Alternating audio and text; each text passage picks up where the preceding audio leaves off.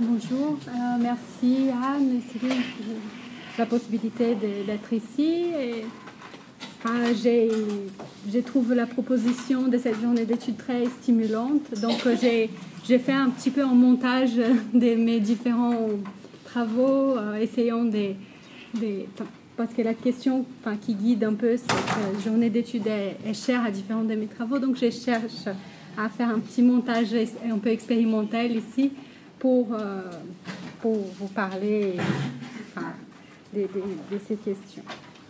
Euh,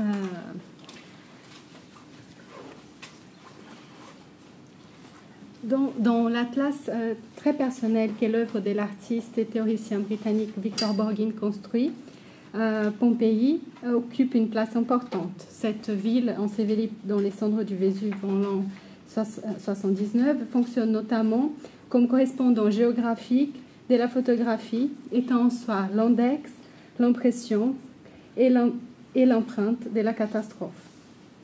L'instinct catastrophique y est figé, différemment de ce qui s'est produit dans les villes bombardées pendant la Seconde Guerre mondiale, par exemple, qui par la suite ont été euh, reconstruites, transformées. Il est difficile d'imaginer un site qui, mieux que Pompéi, canalise la pulsion voyeuriste vis-à-vis des ruines, une pulsion euh, qu'on a appelée catastrophilique. L'effigement de l'instant de la catastrophe qui s'y est produit, l'immobilité résultant du recouvrement par le cendre, justifie les parallèles avec la photographie. Euh, Victor Borghin écrit euh, telle une plaque photographique, la surface de la ville reçut l'impression d'un événement qui l'a transformée de façon irréversible. Pour le dire avec un néologisme, Pompéi est une image catastrophographique qui continue à l'être du fait de son intégrité et perpétuellement. Toute photographie de Pompéi est donc l'impression d'une impression, l'index d'un index. Euh, investit la ville de Pompéi à partir de la figure des Gradiva, présent dans plusieurs de, ses travaux, dont une série photographique de 82 et l'essai Des Shadows and the Rooms, publié en 2006 au sein du projet artistique Voyage en Italie. Ces personnages, dont le nom signifie celle qui marche, évoquent à la fois les titres de la nouvelle publiée en 1903 par William Jensen, source de la première étude freudienne fondée sur une œuvre littéraire, et, en même temps les bas-reliefs de l'Antiquité grecque, produits probablement au IVe siècle, sur lesquels Jensen s'appuie pour écrire son histoire. Dans ce bas-relief, euh, surnommé la Gradiva, on identifie une silhouette féminine qui marche en remontant légèrement sa toge. Elle a un pied entièrement à terre, l'autre est presque perpendiculaire au sol. Je l'ai ici. Euh, L'image de cette femme vue des profils et prise dans le mouvement élucide chez Borghin le fait que les ruines de Pompéi sont elles aussi en mouvement, que l'effigement provoqué par l'éruption volcanique n'est pas absolu. Mon, mon, intervention traitera des possibilités et impossibilités de voir et de représenter l'événement catastrophique. Et pour entrer dans la matière, euh, je propose la vision euh, des cette photographie, prise par Carlo Fratacci à Pompéi en 1864, est trouvée par Victor Borghin dans un album des vues du XIXe siècle appartenant au Centre canadien d'architecture. La vision des images de Pompéi prise par Fratacci engendre chez Borghin une pensée des ruines au sein de laquelle la ville italienne offrirait en soi une image catastrophographique, une sorte de degré zéro de la représentation catastrophique sans médiation. L'événement est venu s'imprimer directement sur la ville et les cendres du Vésuve l'ont conservé à jamais. En réalité, dans son essai euh, Shadows in the Rooms, Victor Bogin rappelle que l'éruption volcanique de 79 ne détruit pas quelque chose qui était parfait, intact jusque-là. Un autre séisme quelques années auparavant avait déjà secoué le paysage et les colonnes qui apparaissent dans la photographie de Carlo Fratacci était probablement déjà, déjà brisée avant 79. La région a connu d'autres séismes par, la suite, de sorte que les passages du temps continuent d'agir depuis la catastrophe, malgré l'impression des figements temporels. Euh, la Gradiva des Borghines. Donc, je vous montre quelques images des, faites par Borghine à Pompéi à partir de cette photo des fratages et une vision de, sa série intitulée Gradiva. Euh, donc la Gradiva des Borghines est à la fois est à la fois la reprise d'un personnage existant dans l'art et la littérature et les produits du travail de l'artiste fondé sur l'union entre recherche et imagination. Si l'artiste lui fabrique une histoire alternative, c'est surtout pour la libérer de sa stase pompéienne, mettant l'accent sur sa mobilité. Dans cette communication, je m'efforcerai d'interroger avant tout la position du spectateur des catastrophes, sa distance par rapport aux référents catastrophiques. L'image catastrophique des Pompéi fonctionnera comme paradigme de ce degré zéro entre les, des distances entre les référents événements catastrophiques et l'observateur producteur de son image. Si cette distance est invisible dans les bas-reliefs ou figures gradiva, j'examinerai des situations où, à l'inverse, elle devient visible, palpable et de telle sorte s'interpose comme obstacle à la vue du spectateur, offrant une non-image et donnant à voir l'irréprésentable qui serait propre aux événements catastrophiques. Dans un premier temps, j'interrogerai la figure du spectateur des catastrophes à partir d'une série de situations présentes dans le film Still Life, réalisé par le cinéaste chinois Jazanke dans la ville de Fenji, peu de temps avant qu'elle ne disparaisse, submergée par les eaux du barrage des Trois Gorges lors de sa construction. Ensuite, il sera question d'examiner comment la disparition, et en particulier les disparus de la dictature chilienne d'Augusto Pinochet, s'inscrit dans quelques œuvres contemporaines. Cette communication portera donc sur des objets très divers, conjuguant catastrophe et représentation, à partir des trois rapports de distance différents, allant de la proximité extrême à distance extrême, de l'image catastrophique à la catastrophe de l'image. Euh, des marcheurs comme Gradiva, les personnages des Jazenke doivent évoluer sur un terrain instable, sur une ville qui prépare sa propre disparition, et il ne serait peut-être pas exagéré de les comparer aux personnages imaginés par Jensen, qui voient la terre s'ouvrir sous ses pieds. Certains moments de contemplation au sein de ce film fonctionnent comme des alternatives dans leur propre parcours, et ces mouvements seront au centre de l'analyse que je propose. Euh, je, fournis d'abord quelques éléments pour comprendre la diégèse de ce film. Donc, euh, il y a deux protagonistes euh, qui ne se connaissent pas, ils ne se rencontrent pas dans le film, parce que Still Life est fait des deux histoires parallèles qui ne se croisent pas vraiment. La première est celle de Ming, le personnage qu'on voit dans cette image de dos, mineur du Sanchi, à la recherche de sa femme ou de son ex-femme, c'est pas très clair, euh, il arrive donc dans cette région des Trois Gorges muni d'un petit sac et d'une adresse notée sur un bout de papier.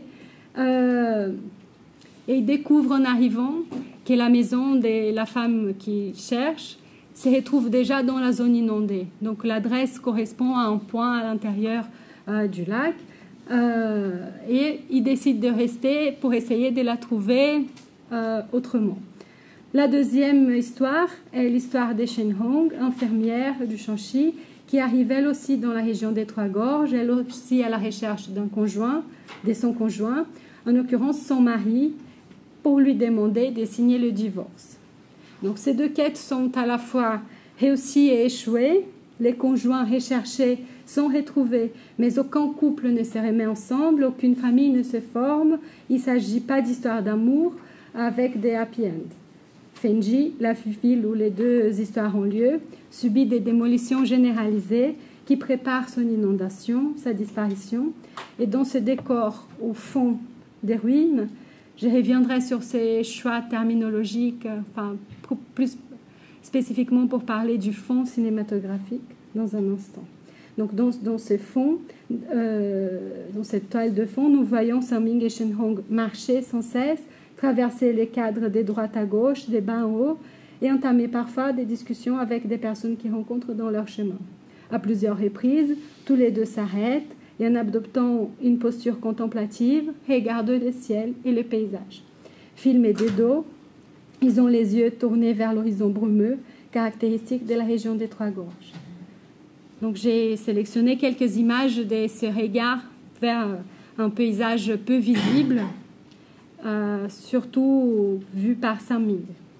Euh, le regard que le protagoniste de Still Life lance vers le paysage, vers le relief des trois gorges, vers le ciel chargé, seront ici compris euh, comme des regards vers le fond de l'image cinématographique. Euh, Robert Bonamy, qui dédie un ouvrage à cette zone peu étudiée de l'image cinématographique, défend ses gestes d'attention à ce qui se passe, non pas au niveau du drame, mais au niveau du contexte à l'idée selon laquelle le décor serait un lieu neutre au bénéfice de la logique fictionnelle, à l'idée d'une passivité du fond contrastée avec l'action de la figure, Bonamy oppose donc celle d'un regard qui redonne au fond cinématographique toute son importance.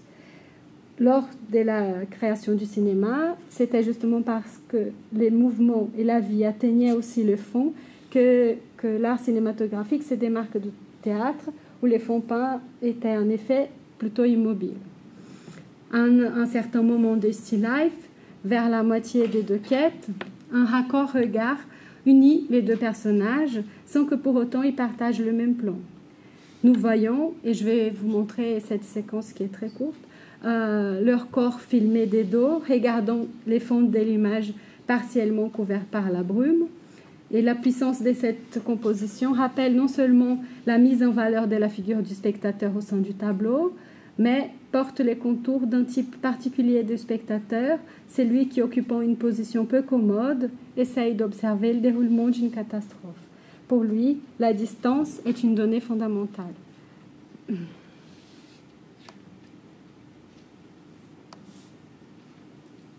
Donc je vous montre cette euh, petite séquence.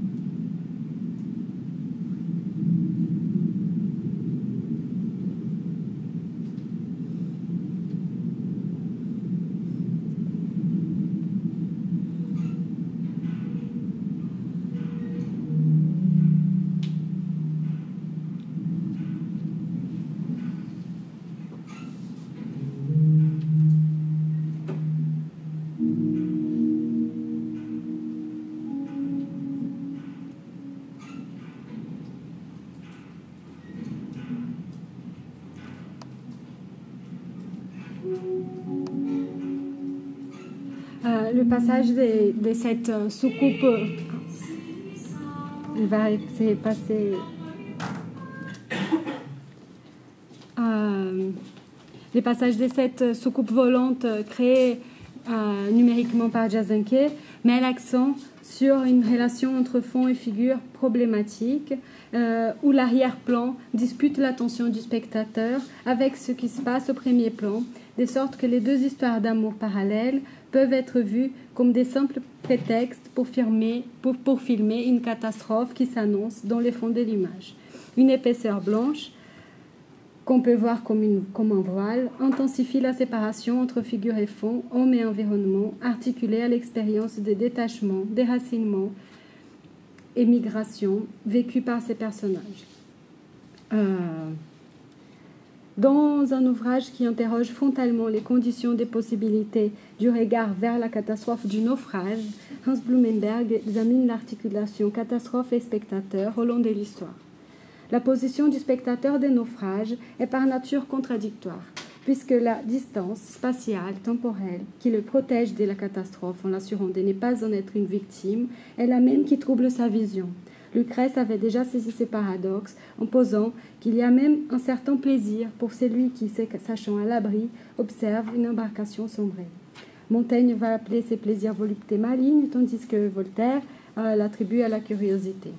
Ces contradictions sont à l'œuvre dans la toile euh, des Caspar David Friedrich, Voyageur au-dessus de la mer de nuages, où la distance entre l'un et l'autre se matérialise sous la forme d'un épais brouillard. Un homme en hauteur observe la mer agitée, le ciel brumeux. Il est à l'abri, appuyé sur un rocher, à l'aide de sa canne. il est probable qu'il ne voit pas grand-chose à, part la blancheur des vagues et des, nuages. Mais s'il s'approche un peu plus, c'est lui aussi qui est soumis au risque.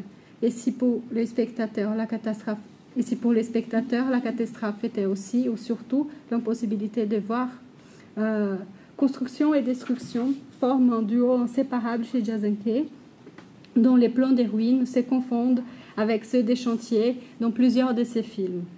Euh, dans son cinéma, la présence physique de la ruine compromet toute vision optimiste des progrès ou d'avenir, et c'est dans ce cadre que la construction du barrage des Trois Gorges s'inscrit œuvre moderne monumentale, symbole de la maîtrise de l'homme sur la nature, symbole de la Chine contemporaine, vue dans Still Life comme responsable de la destruction d'une ville millénaire. Dans le film, les voiles qui s'imposent de façon permanente entre les personnages et les paysages, entre figure et fond, renforcent la distance entre l'un et l'autre et finit par gêner le spectateur.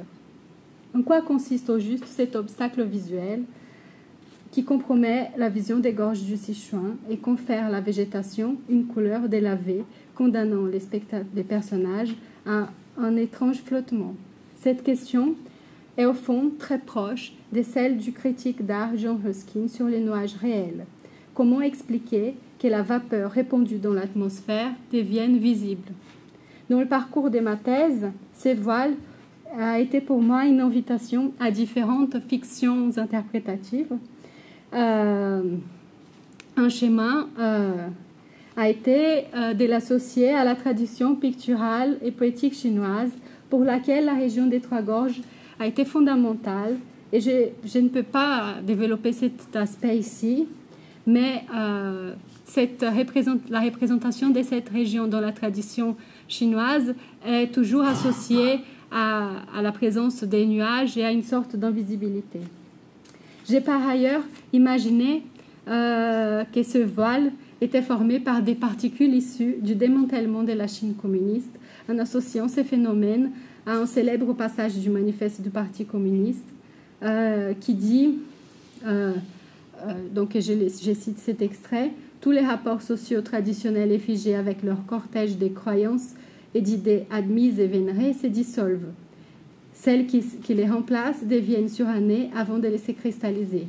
Tout ce qui était solide et stable est ébranlé, tout ce qui était sacré est profané, et les hommes sont forcés, enfin, d'envisager leurs conditions d'existence et leurs relations réciproques avec des yeux dégrisés.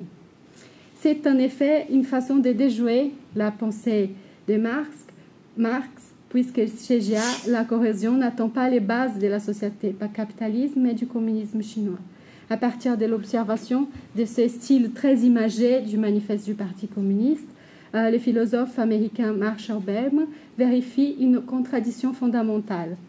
Les solides et la dissolution feraient partie du même système. En reprenant la sentence All that solid melts into air, dans les titres de l'ouvrage qu'il publie euh, en 82, Berman identifie l'aspect corrosif du modernisme et de la modernisation à partir de la littérature du XIXe siècle. L'analyse de la pensée du manifeste communiste de Berman ouvre une voie pour comprendre, donc dans cette hypothèse une voie pour comprendre l'ambiguïté euh, de ces images face au barrage des Trois Gorges. Les sentiments mélancoliques, nostalgiques s'associent au désir et au besoin d'avenir.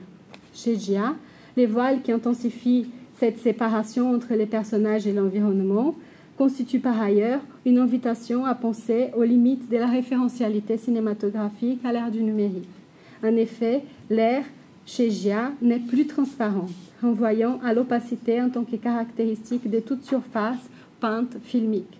L'opacité est l'attribut du support de la surface du moyen de représentation. Euh, Louis Marron ne voit pas cette, cette, relation entre transparence et opacité seulement dans leur opposition, mais remarque comment ces deux aspects sont parfois indissociables et comment l'œuvre d'art ne peut être complètement transparente, comment ce degré zéro de la représentation est toujours une fiction. L'opposition entre transparence et opacité a opposé le cinéma classique au moderne, par exemple. Le premier cherchant l'illusionnisme, tandis que le second défendait euh, l'exposition des moyens de fabrication. Le cinéma déjà échappe à ces types de dialectiques, n'entrant ni dans la case du transparent, ni dans celle de l'opaque, et créant des moments de réalisme et des moments de déconstruction, des effets spéciaux et des regards à la caméra. À la troisième voie, donc de la matité, comme suggéré par Barthes, il est préférable chez Gia d'adopter l'idée d'un réalisme translucide. Un milieu translucide donc laisse passer la lumière, mais empêche la vision des contours. L'idée de cette translucidité chez Gia traduit non seulement sa position entre opacité et transparence, entre fiction et documentaire, entre déconstruction et illusionnisme, mais aussi entre réalisme et effets spéciaux. Le voile serait donc la matérialisation de cette translucidité cinématographique. L'image qu'il produit est toujours filtrée euh, et, ce filtre, ce voile, serait constitué des micro-gouttes d'eau ou des particules de poussière. Son travail devient ainsi une réflexion sur les possibilités propres du cinéma à l'ère numérique, sur la réalité du cinéma chinois dans l'ère post-socialiste et plus profondément sur le cinéma dans l'imminence de sa propre catastrophe. Dans Still Life, l'eau qui va bientôt effacer le paysage s'infiltre et ronge déjà la matière filmique. C'est la figure de l'imminence de la catastrophe dans les films.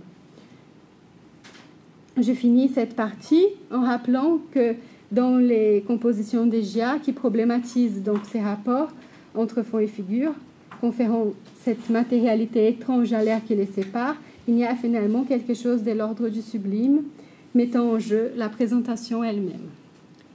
Euh, juste euh, quelques mots donc sur cette deuxième partie euh, qui sera bien sûr beaucoup plus courte et succincte que la première, mais j'aimerais quand même évoquer rapidement un ensemble d'objets, de films et une installation vidéo qui problématisent la distance par rapport à l'événement catastrophique dans un contexte précis, celui des disparitions opérées par la dictature chilienne d'Augusto Pinochet l'installation Los Durmientes, dont vous avez une vue générale ici, euh, d'Enrique Ramírez, et les films Nostalgie de la lumière et Le bouton des nacre de Patricio Guzman. Ces trois œuvres ont en commun la recherche d'une visibilité pour l'événement catastrophique de la disparition des corps des militants politiques capturés par les agents de la dictature chilienne, assassinés pendant des séances de torture et dont les corps n'ont jamais été rendus à leur famille. Donc les proches des disparus recherchent toujours leur corps, encore aujourd'hui, 26 ans après la fin du régime. Dans, dans les deux films des, des Patricio Guzman, dont Nostalgie de la Lumière, euh, Patricio Guzman investit des espaces mythiques de la géographie chilienne. Donc, dans Nostalgie de la Lumière, il s'agit de, de, partir avec ses familiers euh, à la recherche de ses corps dans les déserts du Atacama et dans les boutons de nacre, euh, la surface donc, qui, cache ces corps est la surface de la mer patagonienne. Euh, sachant que la dictature pinochetienne utilisait ces deux espaces, dont l'hostilité est, est comparable seulement à l'immensité, pour décharger les corps des militants morts après des séances de torture. Dans son installation, euh, Enrique Ramírez filme avec insistance la mer patagonienne en contre-plongée, confrontant son spectateur à une masse d'eau opaque, sombre, qui ne laisse passer aucun regard, aucune information. Euh, j'envisage donc cette masse d'eau qui apparaît comme quelque chose de solide à l'image, ainsi que l'immensité du sable des sables du désert, euh, comme euh, des barrières pour la visibilité de la catastrophe force d'abstraction, limite de l'image figurative et référentielle, degré infini des médiations entre la preuve par l'image et la disparition. Cette installation, euh, Los Durmientes, est composée de trois écrans. Donc, sur l'écran de droite, il y a un travelling avant aérien survolant la mer à une faible distance de l'eau, de sorte à quasiment la toucher, déviant des croix en bois flottant à la surface. Il s'agit d'un cimetière marin, marin et l'écran central le confirme. Un travelling latéral accompagne le pas pressé d'un homme qui marche le long d'un mur en béton. Dans ses mains, il maintient en avant, euh, qu'il maintient en avant comme dans, un geste d'offrande. Il porte un poisson mort et le rythme de sa marche semble indiquer une sorte d'urgence, comme s'il était encore possible de lui rendre la vie. L'écran de gauche est le plus intrigant. La caméra en projet total parcourt la mer à toute vitesse, toujours en avançant. Cette étrange vue aérienne, plutôt machinale, et c'est de, cet écran qui, qui, a, ces photogrammes que je vous montre, euh, semble avoir été réalisé comme un travelling sur des rails suspendus. Euh, qui, que les titres de, de, l'œuvre évoquent, Los Durmientes. L'eau occupe entièrement les cadres et on oublie que la transparence fait partie de ses propriétés. Euh, les ondulations de cette masse épaisse et sombre, de qualité presque solide, rappellent la mer euh, telle que John Epstein l'avait rendue dans Le Tempestaire, cette fois-ci par les biais du changement des vitesses. Nous verrons, il est question des machines à remonter les temps dans l'œuvre d'Enrique Ramirez, qui avance vers le futur tout en essayant de plonger dans le passé. Dans la vue aérienne de la mer, l'impossibilité de voir à travers la masse d'eau est inséparable des terribles souvenirs dont est rempli les bâtiments. Euh, les bâtiments du musée de la mémoire pour lesquels cette œuvre a été conçue. Euh, avec Los Durmientes, Ramirez semble affirmer la nécessité de ces quêtes et en même temps leur vocation à l'échec. On sait que les corps des prisonniers politiques qui ne, pas à la, qui ne résistaient pas à la torture pouvaient être mis dans des hélicoptères et jetés en haute mer, de sorte à ne laisser aucune trace. Comment les retrouver maintenant? La mer grise et paisible du Chili, ces pays éminemment côtiers, semblent enfermer une frustrante réponse. Et juste pour finir, je vous montre un petit extrait de cette installation.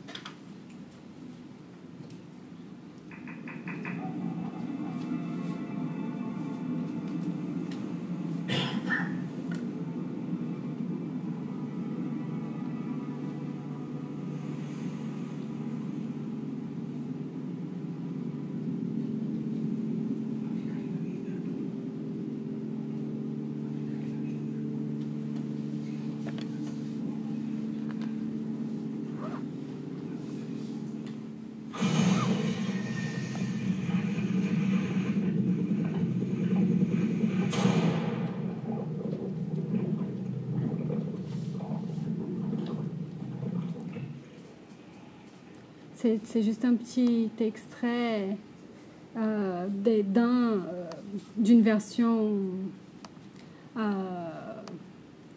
monocanal de, cette œuvre qui est en réalité en trois écrans. voilà, je m'arrête là et on peut parler plus tout à l'heure si, si vous le souhaitez. Merci.